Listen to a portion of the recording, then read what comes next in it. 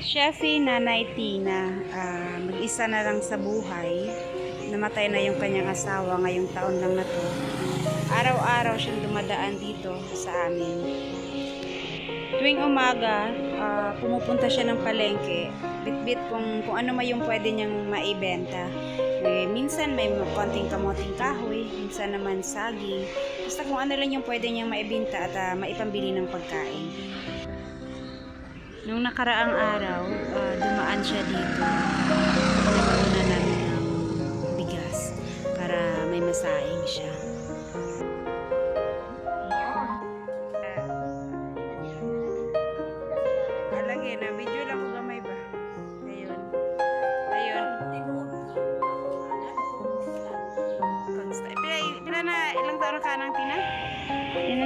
Namin kung ilang taon na siya.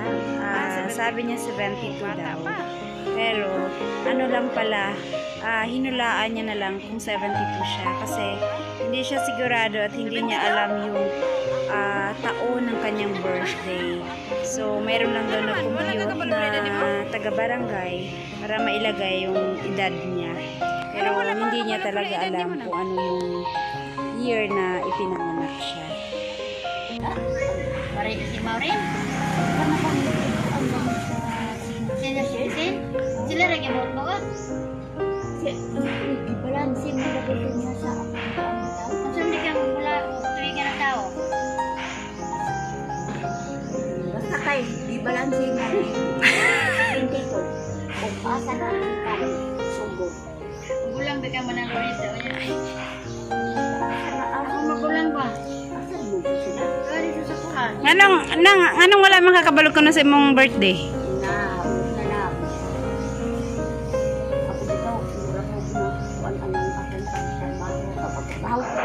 Ba? Ikaw? Hindi bigyan ako na salada, na inang nakasira nila. Then, ayaw na pag kong sinala na.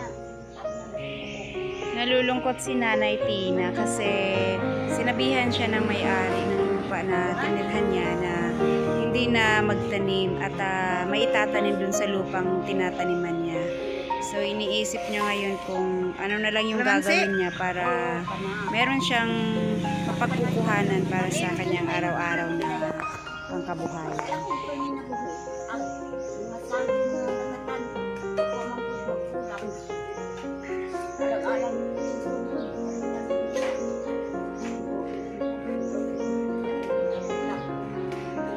Kanon kada adlaw na imong konsumo?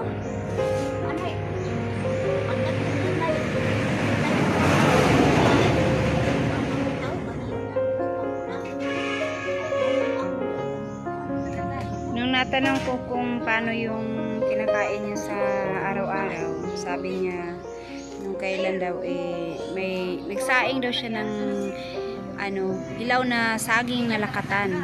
Ayun, nakaubos daw siya ng apat na piraso, tapos uh, uminom siya ng tubig. Ayun, ah, okay na.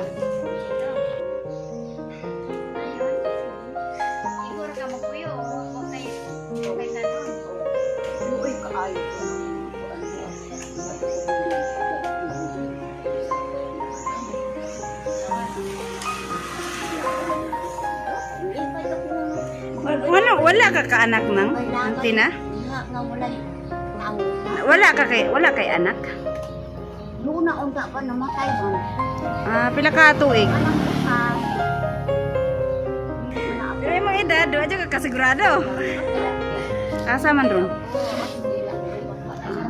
Ah. Dayon, mato ko sa inyo akaron, ato mato mato mi sa inyo aron.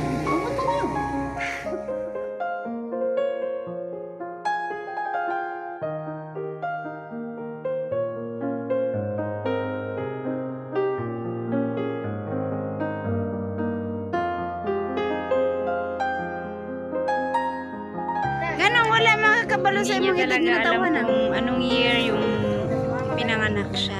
Oh, ang alam niya lang yung buwan at saka petsa pero yung taon hindi niya alam. Kaya ginawa na lang siya ng birthday ng barangay. Na At uh, ini-estimate, in-estimate na lang kung anong Pero kana sa mga bunsang bulan naman imong birthday. Pero hindi yun exact na May edad. Marso 22, pero wala ka balo sa imong edad. Para lang merong Ay, sa tuig.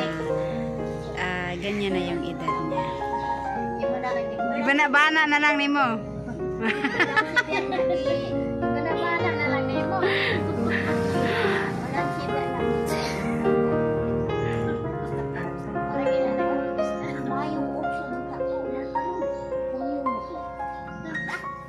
Sagdi lang ko ng kuan edad basta kay imsog. Ato na bitaw.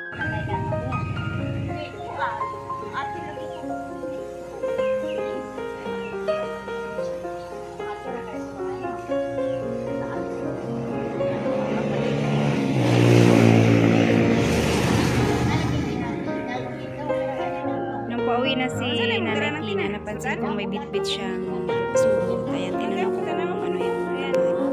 Ah, galing siyang palengke. May nagbigay daw sa kanya ng ulam. Ah, yan, tamban ata. Ilang piraso. So, yan. At least, ah, pwede na niyang pang ulam sa isang kainan niya. Sige lang, Tina. Dayon. Ato lang. Sige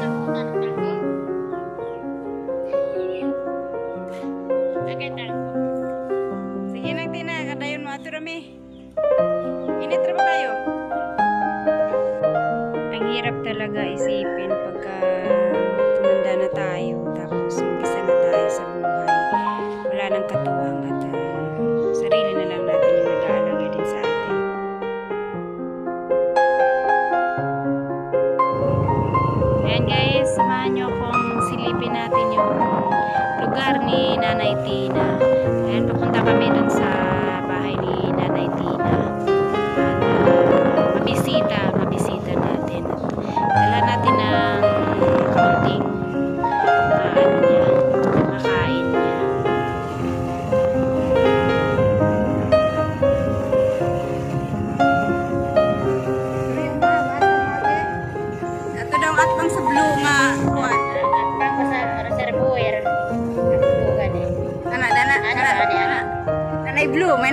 blue.